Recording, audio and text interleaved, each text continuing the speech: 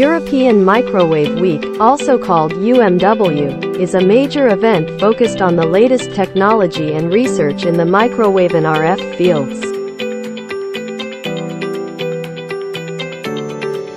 EuMW 2023 held in Berlin, Germany, featuring three conferences and an exhibition to draw scientists, engineers, and leading industries representatives from around the world.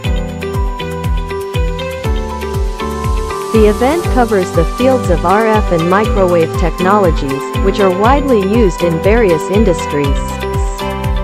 For example, satellite communication,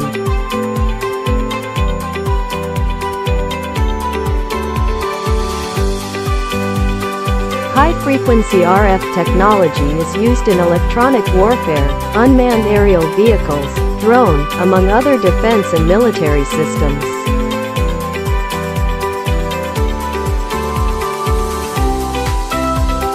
RF and MM wavebands are applied in mobile communications, base station infrastructure, 5G or 6G network and more wireless communications.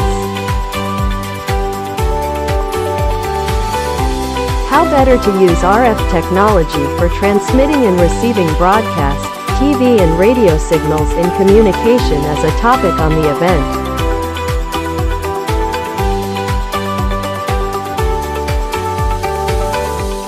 Another spotlight on is what the latest RF and microwave technologies applied in aviation radar and space communications.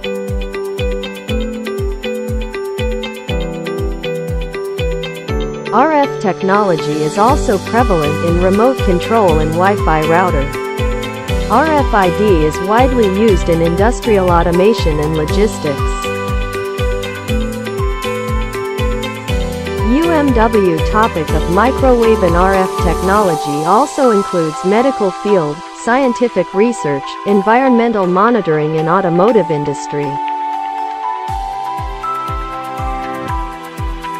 Temwell has extensive expertise in RF and microwave technology, specializing in signal filtering and solutions for noise interference, along with custom services.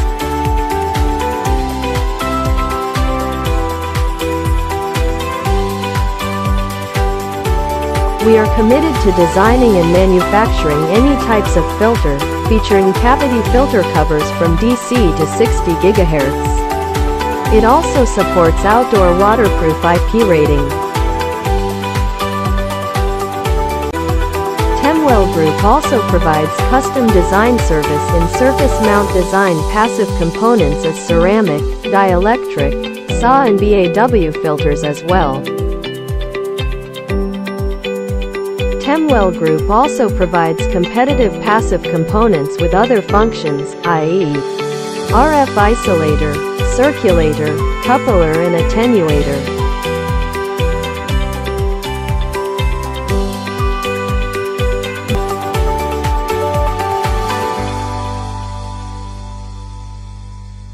If you are looking for a supplier of RF and microwave filters and passive components with reliable quality and customized service, please contact us anytime. See you next year EuMW 2024 in Paris.